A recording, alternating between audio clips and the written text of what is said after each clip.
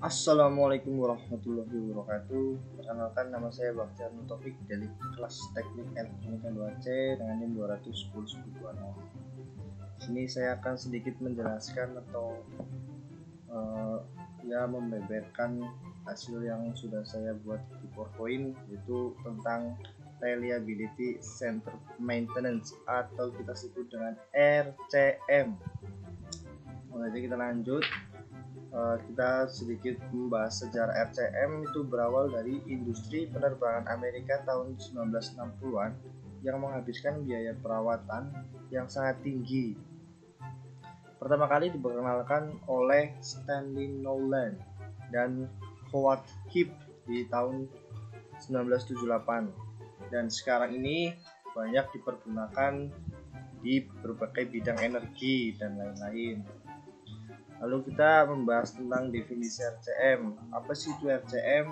Definisi RCM yang pertama itu metode untuk mengembangkan, memilih, dan membuat alternatif strategi perawatan efektif yang didasarkan pada kriteria operasional, keamanan, dan ekonomi.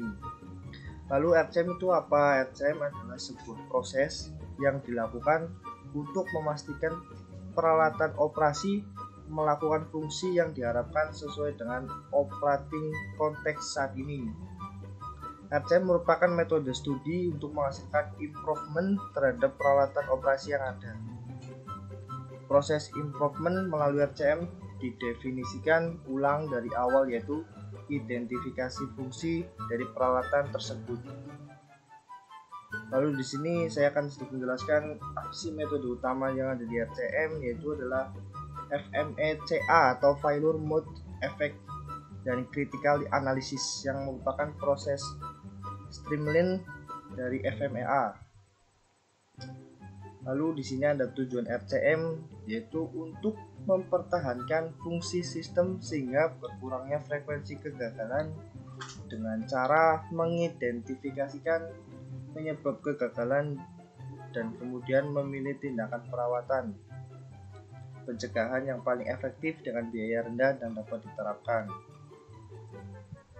Lalu ada keuntungan dan kekurangan pada RCM. Keuntungannya yaitu lebih efektif, lalu biaya maintenance yang lebih rendah dengan mengurangi atau menghilangkan proses maintenance yang tidak perlu.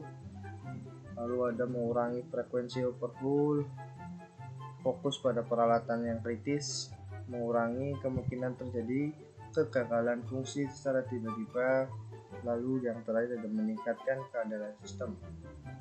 Kekurangan RCM itu biaya awal yang tinggi karena di biaya awal terdapat ada pelatihan, lalu ada peralatan, lalu hasil tidak dapat dilihat dan dirasakan dengan cepat. Manfaat RCM itu mencegah terjadi korban jiwa, kerusakan properti, dan lingkungan. Dua, menekankan pada kehandalan peralatan, menurunkan biaya perawatan karena pengurangan kegagalan, dan memperpanjang umur peralatan. Komponen-komponen RCM, reactive maintenance, ada proactive maintenance, preventive maintenance, dan predictive maintenance. Lalu apa sih yang dimaksud dengan reaktif, preventif, reduktif, dan proaktif? Reactive maintenance yaitu maintenance yang dilakukan saat terjadi kegagalan fungsi. Lalu preventive maintenance yaitu maintenance yang dilakukan sebelum sistem mengalami kegagalan dan untuk mencegah kegagalan fungsi yang terjadi. Lalu ada predictive maintenance, maintenance yang dilakukan menggunakan monitoring pada sistem untuk mengantisipasi kegagalan sistem. Lalu ada proactive maintenance, yaitu melakukan pencarian dan memperbaiki penyebab terjadi kegagalan fungsi untuk mencegah kegagalan yang sama terjadi kembali. Lalu ada prinsip-prinsip pada RCM yaitu function oriented yaitu untuk memelihara fungsi sistem bukan sekedar memelihara suatu komponen agar beroperasi sesuai harapan. Lalu ada sistem fokus yaitu fokus kepada fungsi sistem pada suatu komponen. Lalu ada reliability centers yaitu mengetahui jenis kegagalan yang pernah terjadi dan perawatan yang pernah terjadi pada sistem selama sistem beroperasi. Lalu ada acknowledge limitation yaitu menjaga agar keandalan fungsi sistem terhadap sesuai dengan kemampuan untuk desain sistem tersebut. Lalu ada safety dan ekonomi yaitu mengutamakan keselamatan atau safety. Kemudian untuk masalah ekonomi. Lalu ada failure atau pun satisfactory yaitu kegagalan sebagai kondisi yang tidak memenuhi harapan atau tidak sesuai performance standar yang diterapkan.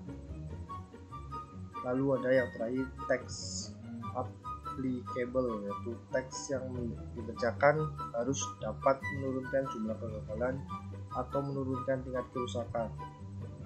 Lalu untuk penggunaan RCM itu bisa terjadi pada industri besar di mana menggunakan sistem atau peralatan yang kompleks di mana kegagalan sistem atau peralatan dapat menimbulkan gangguan perekonomian, keamanan, dan resiko lingkungan. Contohnya seperti ada di penerbangan, lalu pembangkit listrik, lalu perusahaan layanan publik, industri lepas pantai, dan lain-lain.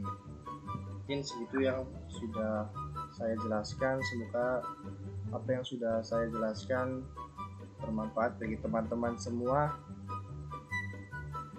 Wabillahi taufiq Wassalamualaikum warahmatullahi wabarakatuh.